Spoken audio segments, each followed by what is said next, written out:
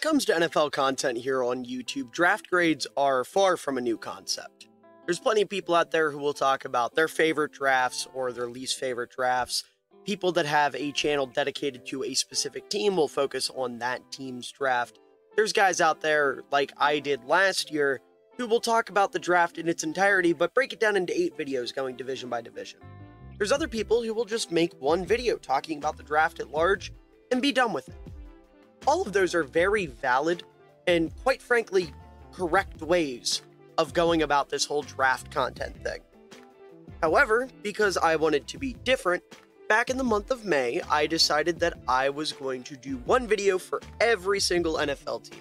32 videos throughout the months of May and June talking about the draft and grading every single pick. Here we are at the end of August, and I still have two whole divisions left to do. So that didn't work out, and I found out very quickly why I had seen no one else do this. Now, that being said, I made a commitment. I owe it to both myself and to you, the viewer, to complete this, to go through with these last eight teams, these last two divisions, and hand out my grades for the 2024 NFL Draft. Now, that being said, because we are in late August, preseason has ended, cut day is either rapidly approaching or in the past by the time you're watching these videos, and we've seen camp and, you know, the development that these rookies are already undergoing just know that that's not really factoring into these grades. Now, there have been a couple exceptions here and there, I make sure to disclose when those are. But for the most part, these grades were grades that I wrote down in, you know, early May and have stuck to.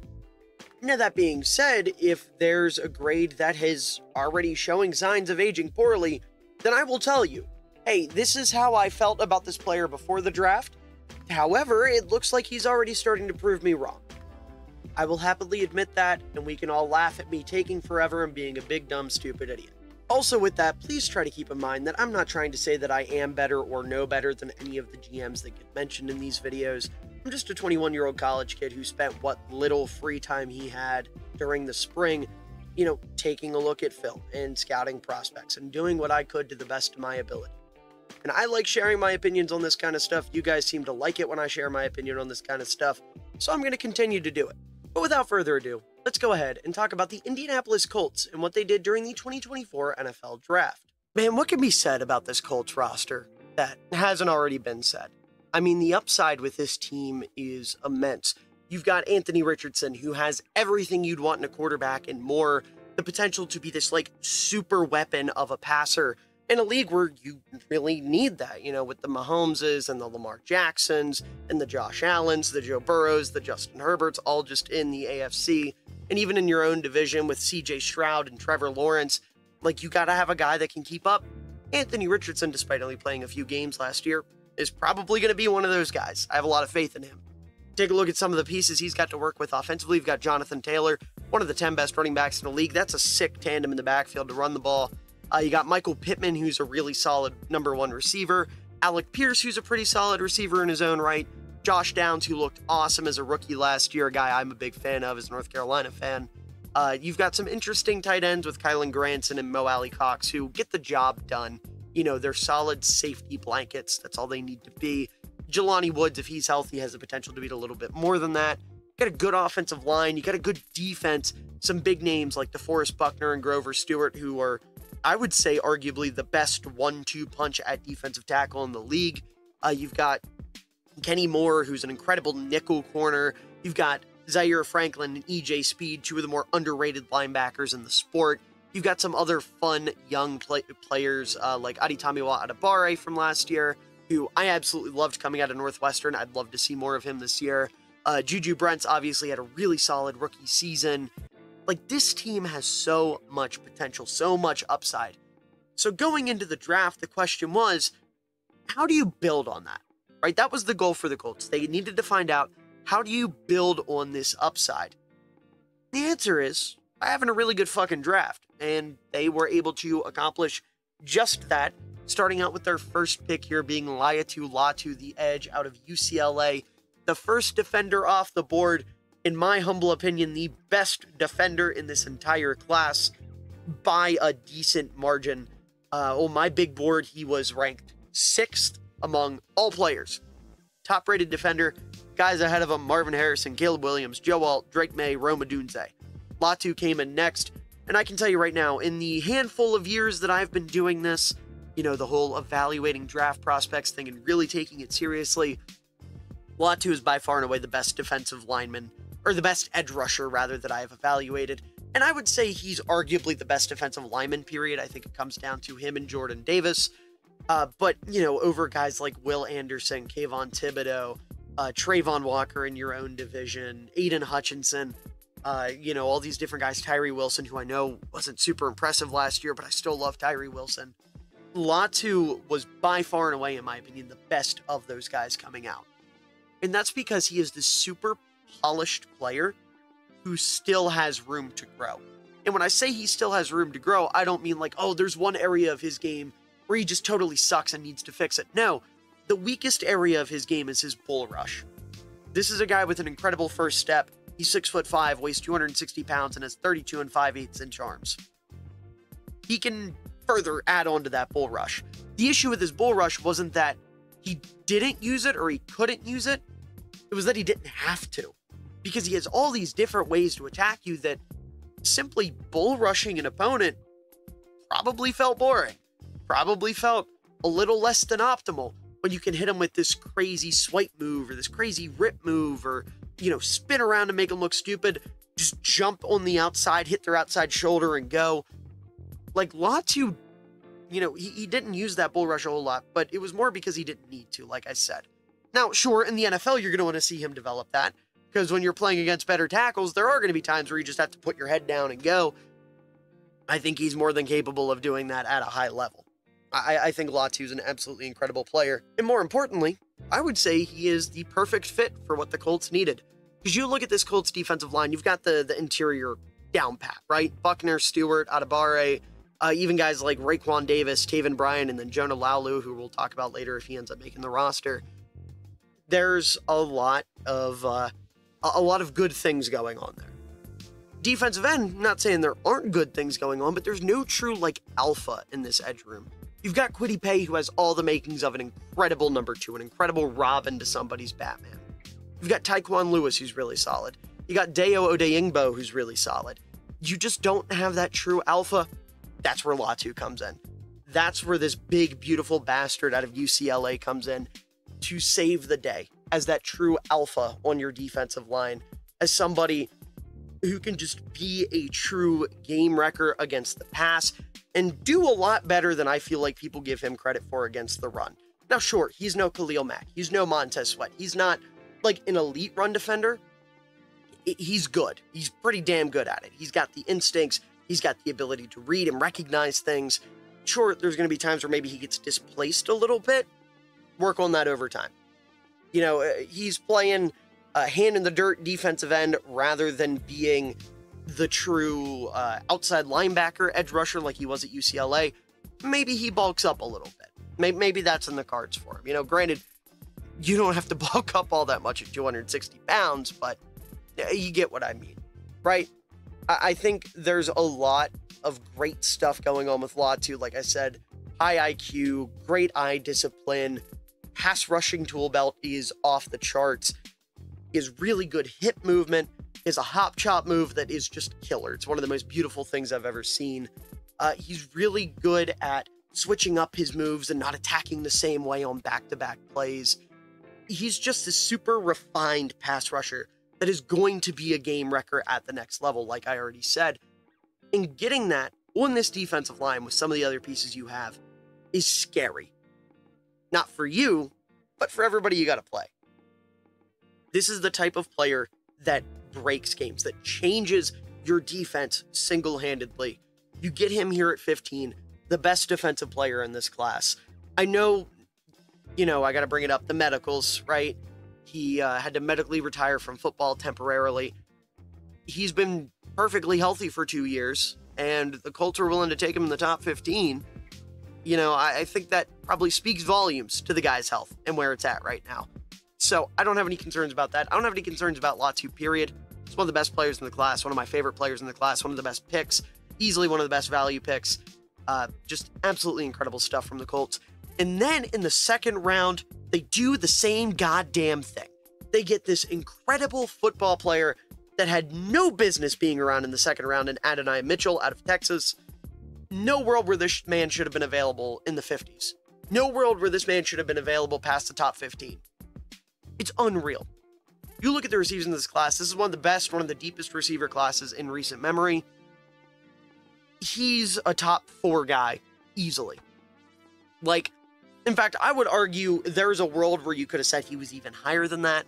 For me, Marvin Harrison, Rome Odunze, Malik Nabers were the top three. I think that was pretty consensus. Maybe not in that order. I know a lot of people had Nabers over Odunze, vice versa.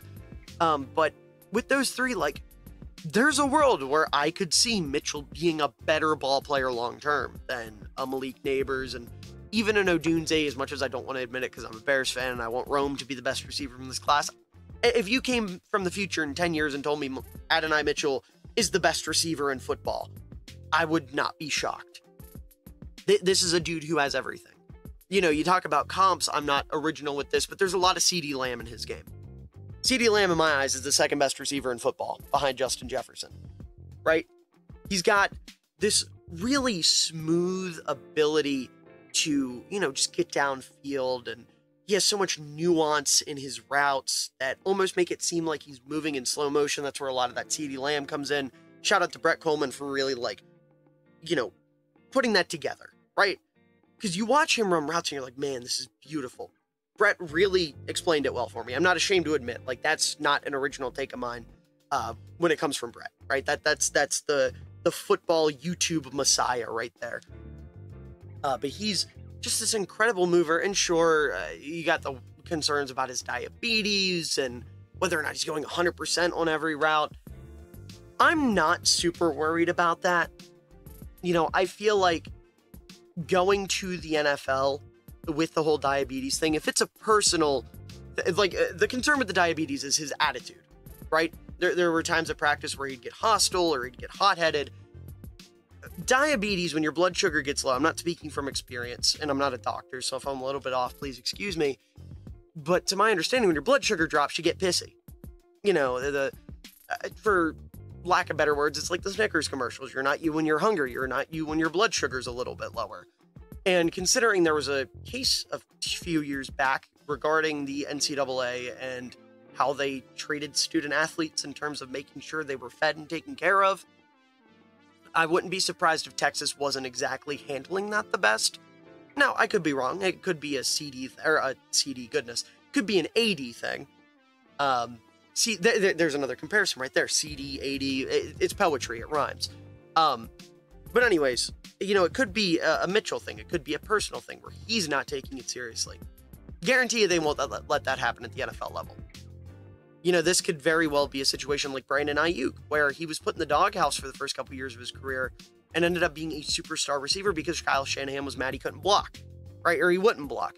Maybe Adonai, we get the same situation where it's like, hey, buddy, if you're not going to take care of your your blood sugar, if you're not going to regulate yourself, you're not going to play. And that's a real quick way to get somebody to be like, all right, you know what, you're right. Let me let me get my shit together. Or if it was a situation where Texas just wasn't monitoring him well enough, then Indianapolis is going to be way different. They have the best doctors they can get.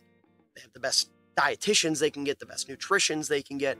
Like he's going to have all of the resources he needs at his fingertips to ensure that this doesn't become a problem. And at the end of the day, if you got to give the guy a granola bar on, on the practice field and he's putting up 1,200 yards a year, who the fuck cares? You know, like it's it's not that deep, is what I'm trying to say.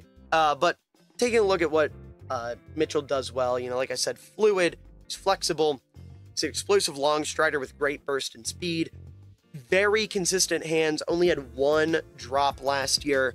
Uh, he has the ability to offset DBs with meticulous releases thanks to lateral twitch and speed. He's able to cut on a dime on slants. He utilizes his length and precision to create a lot of separation at the end of his routes. He excels at manipulating DBs with fakes and stutter steps to create separation. He's able to track the ball downfield effectively over his shoulder with incredible body control. He can elevate and high point the ball at a high level when things come together, uh, just short of 50% contested catch rate on his career, partly thanks to his unreal hand eye coordination. He's difficult to wrap up after the catch thanks to agility and elusiveness. And this is a big reason why I'm not as worried about the uh, the effort thing, right? People saying he doesn't give a lot of effort on his routes when he's not going to get targeted, whatever, is because of the way he plays as a run blocker. This dude likes to block. If you have a receiver that likes to block in any capacity, especially a guy who's a star receiver, you know, this isn't your Equanimeous St. Brown. This isn't some guy that's fighting for a roster spot. This was the star receiver at Texas, and he liked to block. You cannot tell me that man's heart is not in it. If he's going out there and hitting corners with the ferocity of a thousand suns on a fucking run play. Like, come on, man. Turn on the tape. Turn on the tape. Now, I know college production is a thing, and his wasn't great. I personally don't care. I, when it comes to draft prospects, I'm more looking for traits, unless it's something egregious. Like if Adonai Mitchell went out there, started all, you know, 14 games or whatever, and put up 500 yards, 400 yards, then sure. Concern to be had. But considering he was getting open, and when they looked his way, he was coming down with the football, I'm not worried about it. You know, he knows how to get open. He's got a better quarterback than he had at Texas in Anthony Richardson. I'm not worried about all that. I'm, I'm very, very excited to see what Adonai Mitchell is going to do. I think he's going to be a superstar. I think even though you just paid Michael Pittman to be your number one, I don't think it'll take very long for Adonai to overtake him as the number one. That's not a slight at Pittman. That's just how fucking good Mitchell is. I think Mitchell and um, Pittman and Downs can be one of the best receiver tri- trios in the league very, very quickly. And giving that to Anthony Richardson, especially when your tight end room isn't exactly star studded, is a great thing to have. Fantastic thing to have. And then we get into the third round, just 27 picks later, and the Colts end up taking Matt Goncalves, the offensive tackle, out of Pitt. I think it's Goncalves. Goncalves. Uh, you know, if I'm mispronouncing it, please let me know in the comments. I'm not great with pronunciations. I'm not going to lie to you. Unless I've heard the guy say it himself, I'll pronounce it 15 different ways until I'm corrected. So I do apologize if that's incorrect. But Goncalves here is a really interesting case because he's not somebody I watched before the draft. And from what I've been able to gather, a lot of people didn't watch him before the draft. Uh, he's somebody that kind of, you know, went under the radar because he missed his senior season, you know, didn't test. This wasn't exactly like a star studded tackle class outside of the top couple guys. So he kind of went under the radar for a lot of people. However, turning on the tape after the draft, I walked away impressed.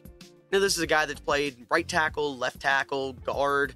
Uh, he doesn't get penalized very often. Really good arm length to play inside or outside. Good base and pass protection. He's able to get low to drive opponents off the ball in the run game. He's a smooth mover with consistent footwork and pass protection. His lo- his arms help him a lot with speed rushers because, like I said, they are on the longer side. Uh, he has pretty active feet, which allow him to get to his landmarks quickly and efficiently. Uh, he has good upper body strength to displace in the run game and hold off bull rushes. Really good uh, grip strength. He's got vice grips for hands, adequate hand usage, and he's really good at picking up on stunts and delayed blitzes and things of that nature to be able to recognize them and then redirect them to keep the quarterback safe, right? Now, that being said, he's not the best lateral mover. He's pretty slow to get out of his stance in that regard. He's not consistently nasty as a run blocker. That's one of those things where it's kind of like, I don't want to say preference, but it's certainly not ideal, right? Uh, he's not going to be great against speed rushers because of that lateral movement. Uh, he's not great against inside counters. Not great at re anchoring after losing leverage. Balance is a little inconsistent. Pad levels high. You know, he's not the most polished guy but you like him for the the physical tools. You like him for the the majority of the technique. And I really like what the Colts offensive staff's been able to do with their offensive line. You know, they, they've been able to develop some guys pretty pretty well. Take a look at Bernard Raimann. You know, someone who was kind of a, a wild card, right? Converted to tackle, ended up being a day two pick proven himself to be a legit starter at left tackle. Blake Freeland was someone they took last year as a bit of a project tackle. Now they've got Goncalves. You know, they like these project tackles and they know what they're doing with them. So while Goncalves might not be the most polished product, he might not be the best product, there's a future there. There's upside. I can see what the Colts see. I like the vision. And on top of that, I mean, there weren't any tackles at this point in the draft that I'm like hammering home. You got to take this guy. If you miss on this guy, you know, it's it's a huge whiff. There were a couple guys I did like. You know, Javon Foster out of Mizzou comes to mind, but nobody that I'm like going crazy over. So I think this is a solid pick. I think there's upside there. Can play inside, can play outside. That's the big thing here. You know, Quenton Nelson's not getting any younger, as scary as that might sound. Braden Smith isn't getting any younger. You got to kind of figure out what the future is going to be there. So between Goncalves and Freeland, I think you've probably got at least one starter uh, between those two. And then you get into the fourth round, and they take another lineman to potentially be a long term replacement for one of their older starters, in Tanor Bortolini, the center out of Wisconsin. I will say up front, there were some centers here that maybe I liked a little bit more. Look at a Sedrick Van Pran, a Hunter Nourzad. I can't get mad at at taking uh, here. I think you've got somebody who's a very, very solid interior lineman. Obviously, they're probably going to look at him as a guard. I think that's where he projects best. He's physical, he's aggressive, he's strong, great football IQ. He's able to pick up on stunts and blitzes. He's able to make you know, call out adjustments, call out the mic, like things like that. Like you want your center to be the um the captain of the offensive line, the brains of the offensive line, right? The the quarterback of the offensive line, I guess, for lack of better words. I think Tanor Bortolini is one of the guys that is very, very good at that aspect of the game. Uh, he's a hard worker, especially like when you watch him get beat. He's going to work his ass off to ensure that that doesn't last right? As soon as he gets beat, he's back up, doesn't let it get in his head. He's trying his best to get back out there and and put himself back in position. He's really good on down blocks. He's able to wash guys off the line of scrimmage. He has a good base in good bend and pass pro.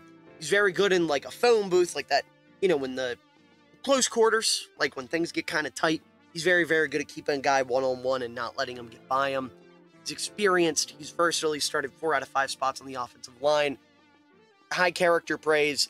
Uh, on the flip side, though, length isn't great. He's playing center. I'm not. I'm not super worried about a center's length. Not the most athletic guy in the world, but he's athletic enough that he's going to get out there and he's going to do what he needs to do in the run game. Uh, he drops his head a little bit too often. You just got to teach him to keep his head up a little bit.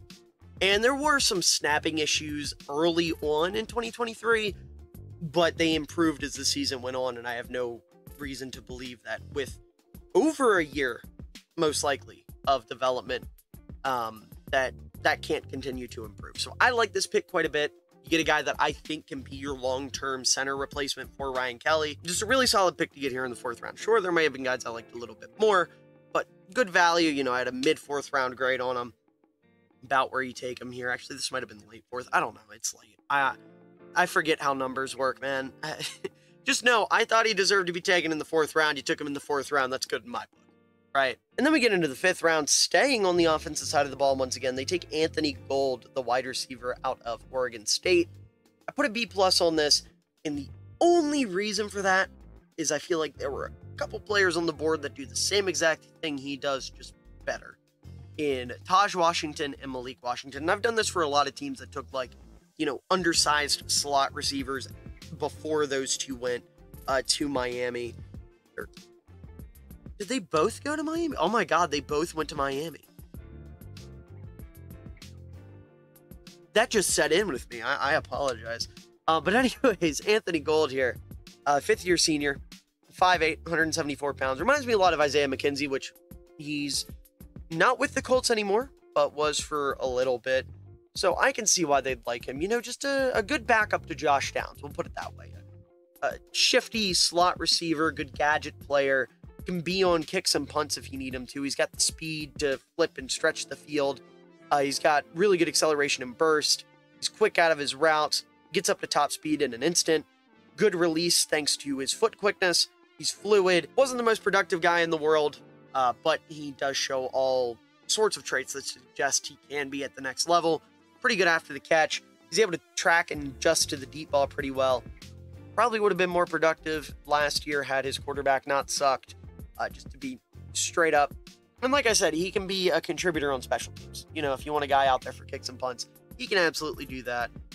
Now, sure, he's going to have all the problems that a little guy has. He's not big. He's not going to do well against press. He's not the most physical receiver in the world. you're not drafting a guy that's five foot eight and saying, hey, go moss that corner. You know, eh, we're not dumb. We know what these guys are. They're gadget players, and that's okay. Everybody needs a good gadget player. All the best teams have one.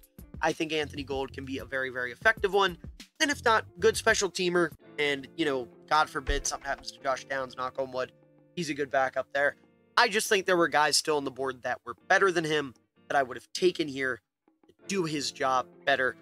But I digress. They're the professionals. I like what the Colts tend to do when it comes to these athletic players, so I can't complain too much. However, it does impact their draft grade here. And then we move on here in the fifth round, and they end up taking Jaylon Carlies, the safety slash linebacker out of Missouri. And this guy, man, the size, 6'3, 227 pounds, ran a 4'5. You know exactly what he is coming to Indianapolis to do. And that's play that role that guys like Ronnie Harrison have been playing, where you're a safety that's playing in the box, a dime linebacker. For lack of better words, that kind of Kam Chancellor role not comparing this guy to Kam Chancellor. Please do not take that out of context. Just saying a similar type of role where you're a safety, but you're essentially playing linebacker. He's got the size, he's got the quickness, he's got the physicality. You know, he's somebody that has played in the nickel, he's played middle linebackers, shown really good stuff at all three positions, including safety.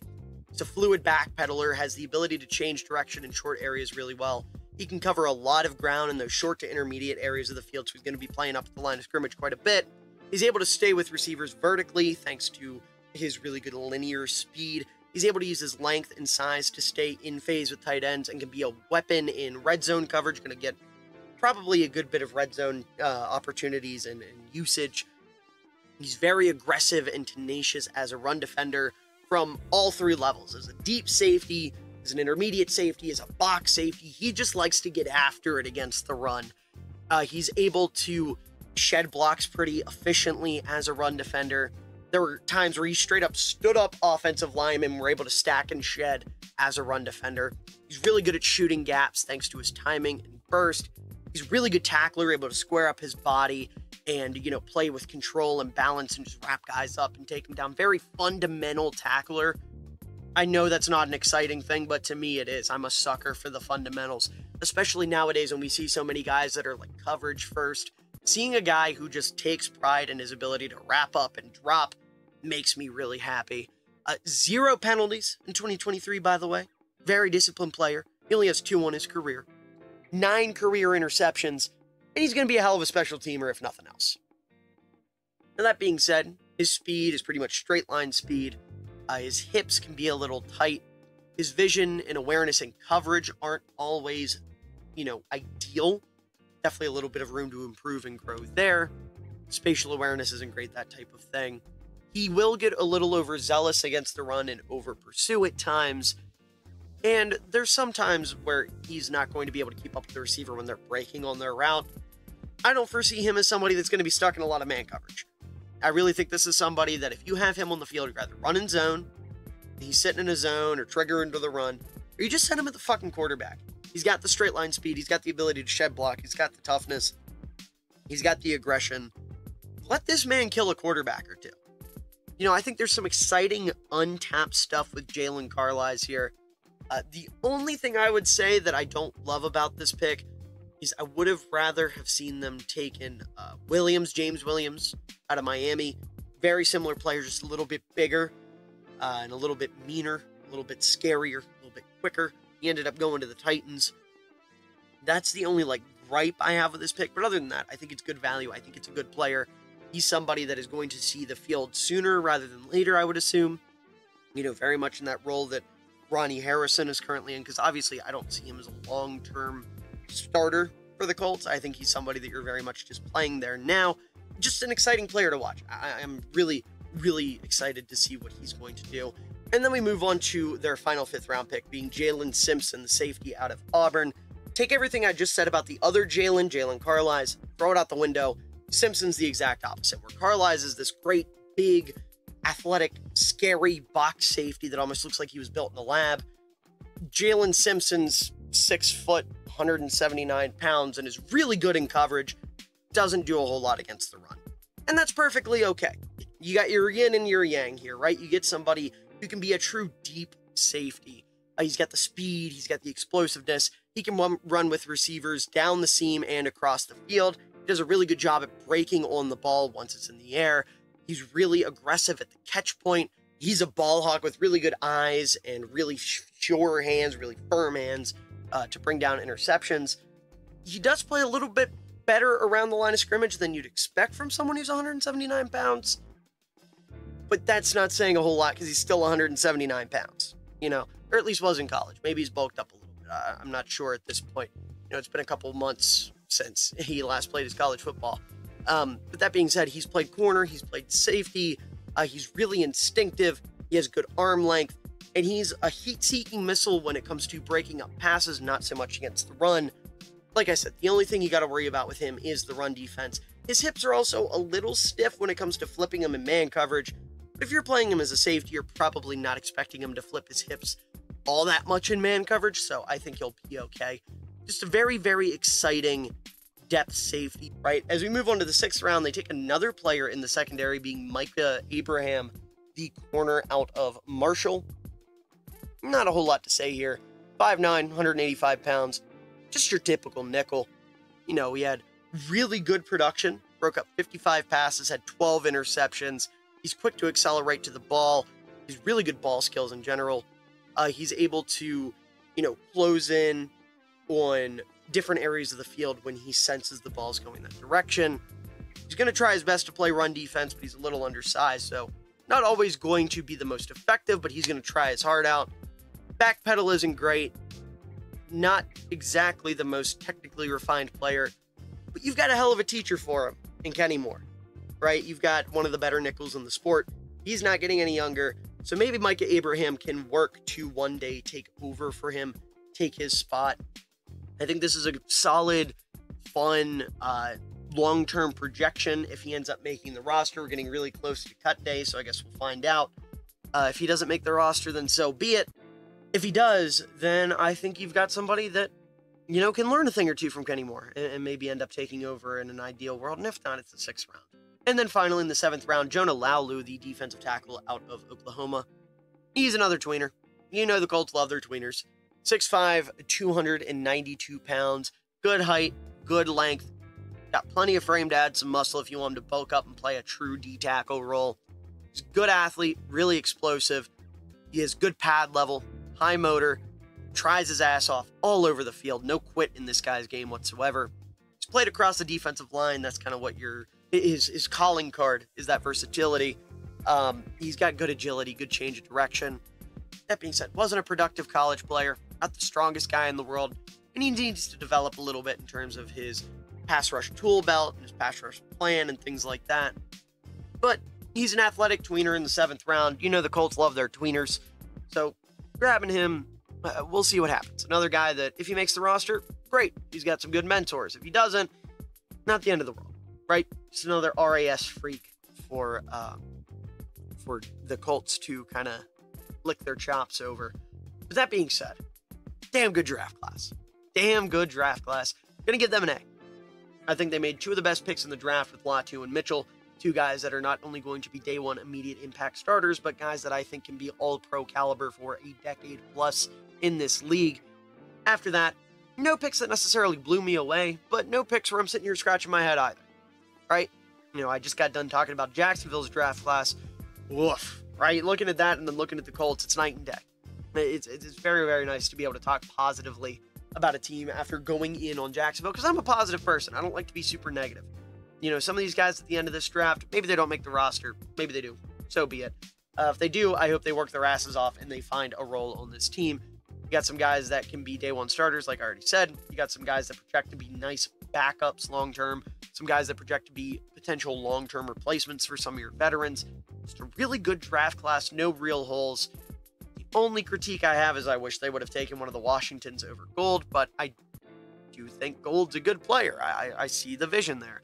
I don't think he was ever drafted, anything like that. Just a small critique.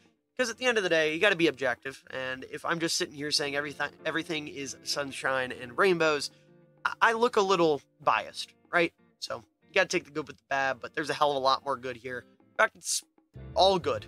You know, even if I can nitpick a little bit, it's all good. Future's bright for the Colts. Plenty of reasons to be excited. Richardson to Mitchell is going to hit like crack for the next decade. Going to be one of the most fun tandems in the sport. And I cannot wait to watch Latu come out and cement himself as a top 10, top 5 edge rusher sooner rather than later because that dude is incredible. I'm kind of jealous that the Bears didn't end up with him, tell you the truth, but you know, I, I can't complain with how the Bears draft turned out. So, all in all, fantastic work by the Colts. Just so much to get excited about if you're a Colts fan, man. Had a chance on the throwback. This, a, was, this was an ill-advised throw. What an unbelievable catch by Cole Kmet. And he, and he cups it too. No movement when he hits the ground, tucked up against his shoulder. Wow. Using that